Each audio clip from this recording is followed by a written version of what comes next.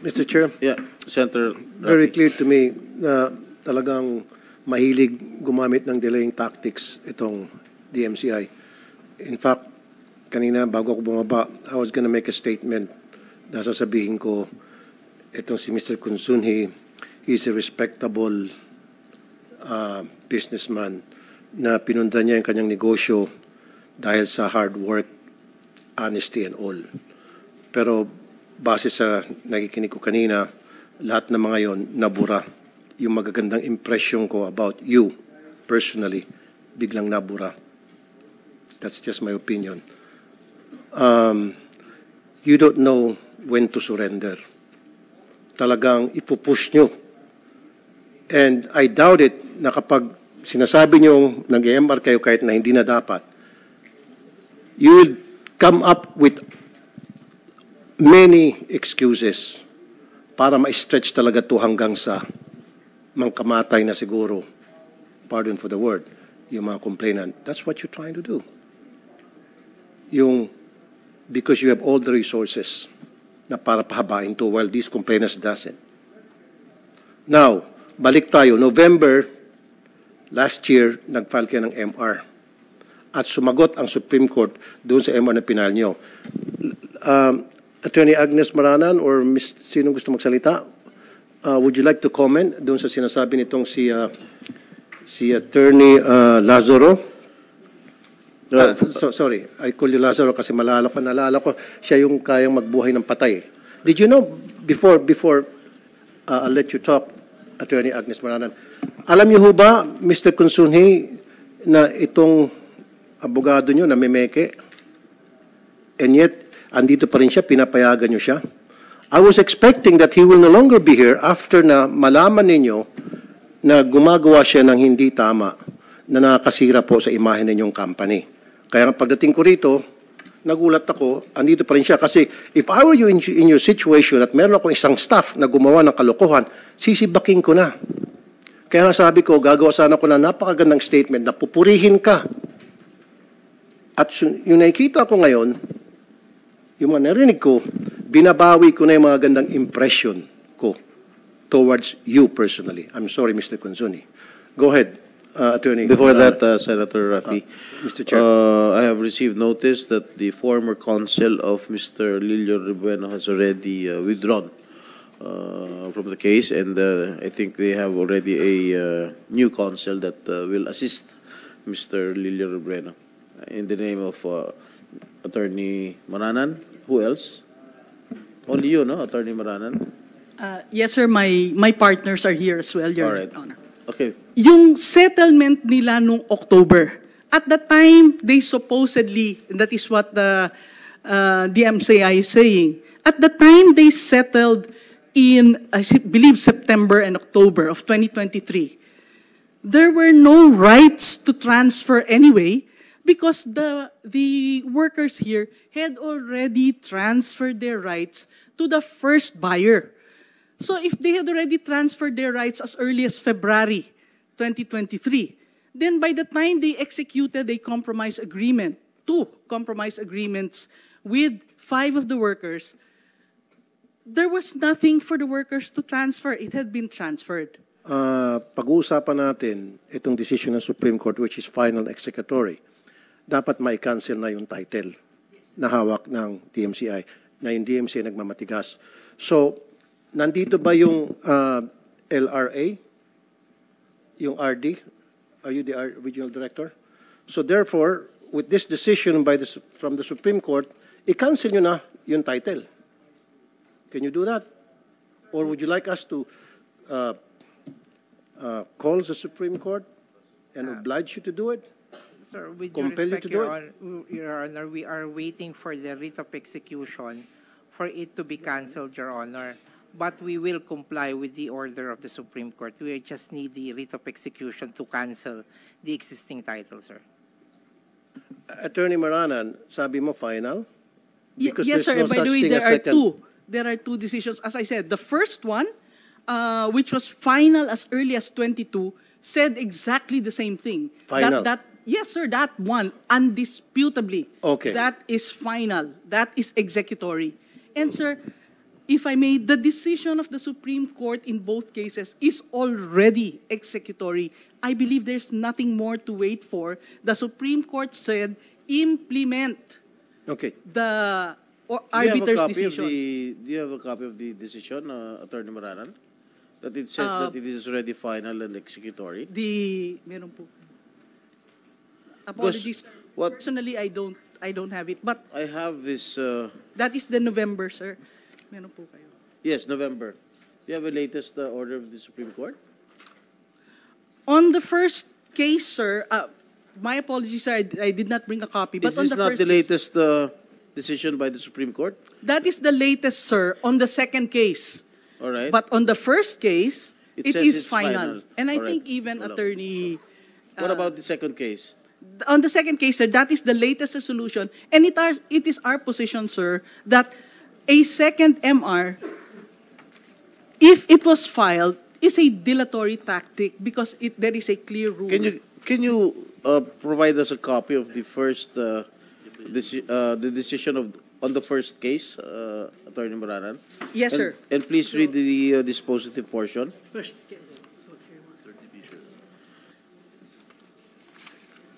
Yung sa third division, ito yung...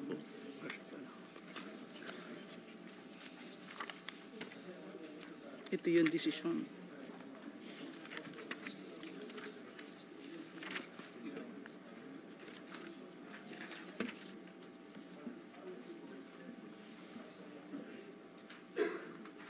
You have it, Attorney Maranan? Yes, Your, yes, Your Honor. I am holding the decision of the court dated, uh, this is in GR number 221978. Uh, it was a case which was resolved by the third division, and this order, sir, is dated April 4, 2022. And the dispositive portion of this order, which is the first case, says, Wherefore, in view of the foregoing, the instant petition filed by DMCI is denied. The decision dated June 5, 2015, and the resolution dated December 15, 2015 of the Court of Appeals uh, affirming the April 3, 2013 resolution and the September 26, 2013 order of the LRA in consulta number 5208 are affirmed. For reference, sir, the decision and uh, the last sentence of this uh, decision says, the NLRC's commission, the NLRC's order dated January 4, 2011, and the entry of judgment in that case dated July 19, 2011 are registrable. Meaning, sir, if they are registrable, they can now be implemented. And as I mentioned earlier, said, sir, that January 4, 2011 uh, decision of the labor arbiter was very clear. It said the title which DS, DMCI secured should be canceled. Right. Okay, I, I also have a copy now of uh, the uh, decision of uh, the Supreme Court. Uh, Senator Rafi, you still want to continue? Um, babalik lang ako Yeah. doon sa aking uh, katanungan kay Attorney uh, Agnes Maranan kasi nasabi nga niya na uh, meron ng final and executory decision yung Supreme Court doon sa isang kaso. Yes, sir. And then you cannot file a uh, second MR to another MR, to Yes, sir. MR. At nagpupumilit pa rin talaga itong DMCI. Um, meron na akong briefly na um, magkikwento, uh, Mr. Chair. Sa programa ko po sa Wanted sa radyo for the past 20 years, ang dami ko na pong natatanggap na reklamo sa mga malilit nating manggagawa na sila ay inapi ng kanilang mga amo. So they went to NLRC. After so many years of waiting, na nila yung kaso, and then pupuntahan yung company. It's either nagsara na o dili kaya nalipat ng pangalan sa ibang ah, may-ari. Or inilalaban sa korte, which ito nangyari ngayon. Patagalan na lang, pati bayan. Hindi ko na mabilang yung mga lumapit sa akin na nang kamatay na, pati pa yung kanilang mga anak, patay na. Inabutan ng 15, 20, 30 years pa. Hindi pa na-resolve yung kaso. Dahil nga, yung kumpanya, maraming resources, maraming pera, pwedeng magtiis patagalan. Paano yung mga magagawa natin? Yung iba, pumupunta lang abroad. Kaysa mag-antay, mag-OFW na lang, ligtas na yung kampaning Mandarambong. Yung iba, uwi na lang probinsya, kaysa naman pabalik-balik, magka sa pamasahe. Nagsasawa. And this is what's happening right now. It's sa DMCI. Meron na desisyon yung Korte Suprema at lalabanan pa rin yung desisyon na yun. Kaya nga sabi ko kanina, Mr. Chair, meron na palang uh, decision yung Supreme Court, sinang ayunan yung sinabi ng NLRC from the beginning na i-cancel yung title at and the Supreme Court did agree. Tama, Attorney Maranan? Yes, yes, Based on sir. that their decision here? Yes, Your Honor. Okay. So therefore, kayo po, diyan sa LRA, Register of Deeds, kayo, dapat gumawa kayo ng aksyon. Maliban na lang kung kayo po'y nabayaran. Go ahead po, sir. Thank you, sir. Uh, with due respect, sir, the LRA is readily, uh, uh, will, will comply with the decision of the Supreme Court. So there's a decision already? Yes, sir. There, Okay. it was raised in Consulta 5208, the issue of registrability of the court order. The decision of LRA was to annotate the registrability of the decision. But as to the cancellation of the title itself, we require the uh, writ of execution to comply with that order, sir. That's the only thing left, sir, for us to readily comply. Okay. What's your opinion on that, Attorney Maranan? Well, sir, the what is registrable is the order of the labor arbiter, which says that the title should be cancelled. And if I may, sir, with respect to the first case which I had just read, we are also holding, and we can submit this to this honorable commission uh, uh, committee, the entry of judgment in that case. And the entry of judgment says it, this was issued on January 16, 2023, and this says that the April 4 decision which I had read has already become final and executory. Might be worth noting also, sir, that when they executed the when they executed the compromise agreements with the five workers, this decision which said the title should be canceled had already become final and executory. Oh, okay. So, narinig nyo? Attorney Garcia? Yes, Your Honor. Uh, our legal uh, attorney, uh, Elizalde, will explain, sir, the Hindi, kaya legal to legal. sir. Okay, attorney, si attorney Agnes Maran, she, she uh, just gave the, the, a legal opinion on this matter that we're talking about. And so kayo nagbibigay ng different opinion. So magkasulungat ang inyong opinion. So, uh, in other words, kinukontra niyo po yung decision ng Supreme Court. Para sa inyo, hindi sapat pa yun. Kailangan meron talagang naka-state doon na it should be executory. No, sir. You- Uh, Can I give the floor, sir, to Attorney Elizalde, who can discuss Attorney the legalities Elizalde, of which? go ahead, Good, please. good morning, Honorable Senator Tulfo and Senator Estrada.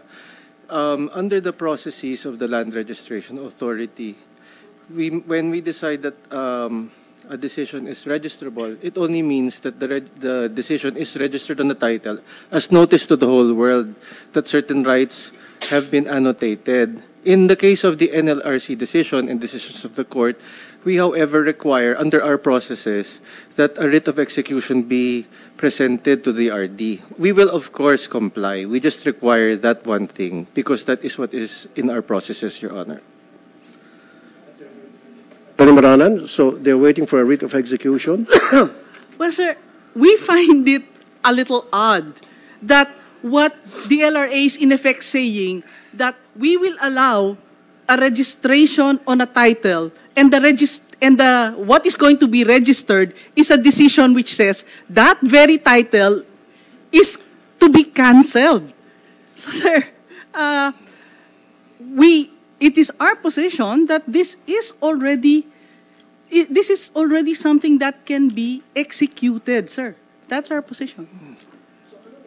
Ano pong hinihintay ninyo? Ah, something that will literally say na eh, from the Supreme Court na kailangan ah, magkaroon na ng writ of execution? Yes, uh, Senator, that is all we require, the writ of execution, and we will comply absolutely. Because that is the way the processes of the LRA have been made. So the opinion of um, Attorney Maranan, while we take note of that, that does not hold water with our office. Okay. Where would that writ of execution will come from para kayo po ay sumunod na? I-present lang po ng sheriff or yung prevailing party sa amin, tapos i-authenticate, and then we Teka lang, magpe-present ang sheriff ng Usually, in- NRC? Yes, sir. Usually, we have, we require that a sheriff or a party presents to us. Kaya nga, sino nga yun? Sheriff ng Korte Suprema, sheriff ng NLRC, magpe-present ng writ of execu- execution. Your Honor, the NLRC, Okay. yan lang kailangan po. NLRC. Oh, NLRC. So, they're just waiting for a writ of execution coming from you para sumunod na sila doon sa sinasabi ng Supreme Court na mailipat na, yung- may cancel na yung title. Hinihintay lang pala kayo. Then do your job. Hin- Cancel ah, the ah, we will I will check po on the records. Issue a Pero writ po- of execution. Pero, pero po kung ang sinasabi po ng LRA ay yung writ of execution na nagmula sa NLRC, matagal na pong natapos kasi po ang kaso na to, 1997 pa po yata. So kung pong yung kasi po 'di ba ang proseso po sa amin is that magkakaroon po kami ng desisyon at ah, pagkatapos po ng desisyon na yon, maaring umabot hanggang Korte Suprema o pero sa amin pa lang po ah, kahit po umakyat ng Court of Appeals yung respondent, mag issue na po kami ng writ- of execution. Ang writ of Meron na kayo na-issue na writ of ex- Meron na po ito kasi execution. 1990s pa po na kaso Okay. ito eh. So, Ang nangyayari lamang po, ah, Mr. Senator, pasensya na po. Ang nangyayari lamang po is that wala pong nakuha na ah, cash or ah, pera para masatisfy ang judgment sa kaso na ito. Kaya po ang ginawa po ng aming sheriff ay sinubasta yung ari-arian o yung property nung respondent na siyang may titulo. Ang naging problema lamang po rito is that Noon pong sinusubasta na, ang sinabi po bigla ng DMCI, hinarang po nila yung pagsubasta dahil ang sabi nila, nabili na raw po nila ang property na ito na dating pag-aari nung respondent sa original na kaso. Okay, so in short, meron na pong issue na writ of execution Meron from the ito. NLRC. So ngayon, ang gusto nila for the second time, mag-issue ulit ng writ of execution. Now, okay, just for the sake of argument, halimbawa, nag-issue siya ng writ of ex- execution ah, bilang pangalawang ah, aksyon doon sa unang writ na kanilang issue, would you oblige? Uh, Your Honor, for clarity, your sheriff, the sheriff of the NLRC, will go to the Supreme Court to get the the writ of execution and serve it upon the Register of Deeds, whereupon the RD has nothing left to do but to cancel the title. Because that is part that is the last part of the process of the legal Okay. process for the transfer. Okay, so ang gusto niyo mangyari, ang NLRC pupunta sa Supreme Court para humingi ng writ Yes, sir. of execution. Yes, sir. Ah, Attorney Maranan? Yes, sir. Thank you. Uh, for, sir, first of all, this is not, we completely agree with the NLRC. This is not the first, this is not a, uh, the reason why um, the workers here were able to obtain title here was on the basis of a notice of levy of the NLRC. The, the property was sold on in public auction and sir it was never redeemed so in fact the certificate of sale in favor of the workers i think as early as the 1990s uh, I, i'm not absolutely sure of the date sir was already registered on that title so it is we are stunned that a title which was already which already had a certificate of sale that became final because it was never redeemed was somehow still transferred to DMCI and that is the subject of the labor case uh, of the labor um, proceedings which occurred in 2011.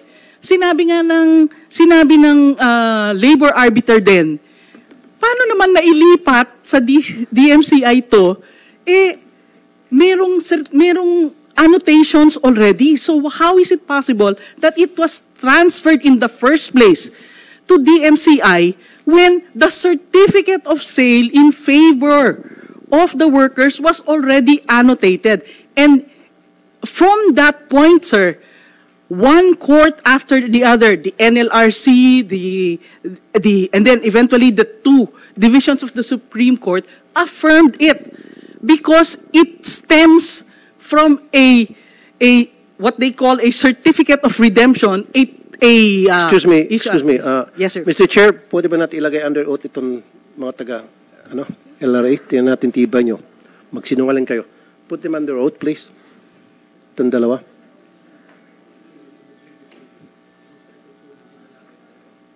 Hindi, yung dalawa, hindi pa ata nag-oath eh. Nag-oath na ba kayo during the last hearing, no? Yes, Sir Okay, so you're under oath. Subukan nyo magsinungaling ngayon. Subukan nyo. Maluwang-luwang yung kulungan doon sa baba eh. Lalo na ikaw, maluwang. Kasyang-kasya. Ikaw doon. So, go ahead po, Attorney Maranan. Thank you, sir. So, sir, at, by my records, at least as of 2011, sir, klarong-klaro na yung ruling ng NLRC on the basis of this writ of execution, actually notice of levy, na it belongs to the workers. Sinabi ng Supreme Court, sinabi ng NLRC, bakit nyo nilipat? Eh meron ng titulo na nandun yung annotation ng certificate of sale na hindi ni-redeem and yet, Okay. na hold it ilipat right pa there. rin. Okay, anong sagot niyo doon? Sinong matibay magsagot dyan? May annotation na in favor yung uh, doon sa worker, yung sa sale, and yet, gino nyo pa rin. Yes, Your Honor. I'd like to be clear with the, with the records, Your Honor. The title in question, Your Honor, is titled 12619 in the name of Taguig Land Development Corporation. It was not yet, sir, transferred to the MCI as per allegations of Attorney Maranan. The record states, as you can get it from a certified true copy, that the title is still with Taguig Land Development Corporation coming from the property of Laxina. So it was transferred to Taguig. Now, the annotations at the back, I'm just running this based on records, ma'am, because I only assumed office last May 2023. So based on record, it was only the only annotation at that at that point was the notice of lease pendants uh,